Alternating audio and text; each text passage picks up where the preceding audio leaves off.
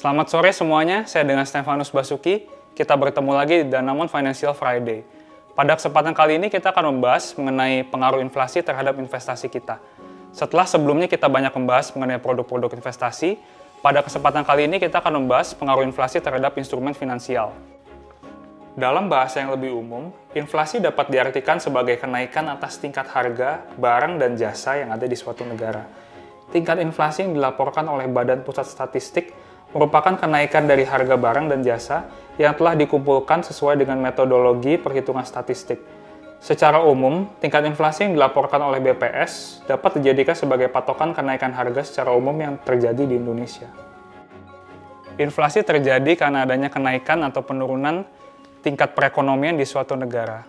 Naiknya inflasi juga akan berpengaruh pada naiknya biaya hidup di negara tersebut.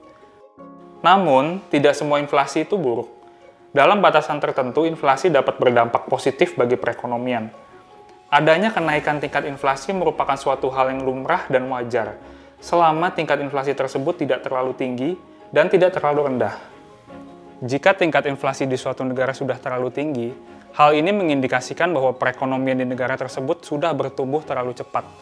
Dan oleh karena itu, diperlukan kenaikan tingkat suku bunga oleh bank sentral agar pertumbuhan tersebut bisa direm sehingga kenaikan inflasi tidak terlalu membebani masyarakat. Dalam kondisi tingkat suku bunga yang cenderung meningkat tersebut, secara umum harga obligasi dan harga saham akan mengalami penurunan. Sebaliknya, tingkat inflasi yang terlalu rendah atau bahkan negatif mengindikasikan bahwa pertumbuhan perekonomian di suatu negara sudah terlalu lemah. Biasanya bank sentral akan melakukan atau memberikan stimulus kepada market yaitu berupa penurunan suku bunga. Nah, penurunan suku bunga tersebut akan berpengaruh positif pada market saham dan obligasi. Mungkin Anda penasaran, berapa data inflasi Indonesia pada saat ini? Berdasarkan data dari BPS, 5 tahun terakhir inflasi kita berada di level 3% hingga 4% per tahunnya. Lalu, apakah pandemi COVID-19 yang terjadi saat ini berpengaruh pada inflasi di Indonesia? Dengan adanya pembatasan sosial berskala besar pada periode Maret hingga Juni lalu, tingkat inflasi kita tahun ini cukup rendah dibandingkan periode yang sama pada tahun 2019.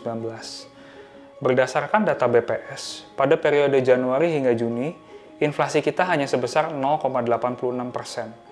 Hal ini terjadi akibat rendahnya permintaan pasar, berkurangnya mobilitas ekonomi yang terjadi selama PSBB berlangsung. Jadi, seberapa besar sih pengaruh inflasi terhadap investasi kita? Hal itu tentu sangat berpengaruh, apalagi jika investasi kita adalah jangka panjang. Sebagai contoh, jika kita berinvestasi pada instrumen pendapatan tetap dengan nominal awal 1 juta rupiah dan bunga 10%, maka di tahun berikutnya uang kita menjadi 1,1 juta rupiah. Namun perlu diingat, nilai uang kita juga menurun karena inflasi. Sebagai contoh, jika inflasi sebesar 6%, meskipun bunga tetap 10%, maka keuntungan kita hanya sebesar 4%. Bersama dengan pertumbuhan ekonomi, inflasi menjadi dua dari sekian banyak faktor yang menjadi indikator penggerak harga saham dan obligasi. Baik, demikian penjelasan dari saya. Terima kasih dan sampai bertemu lagi di episode berikutnya Danamon Financial Friday.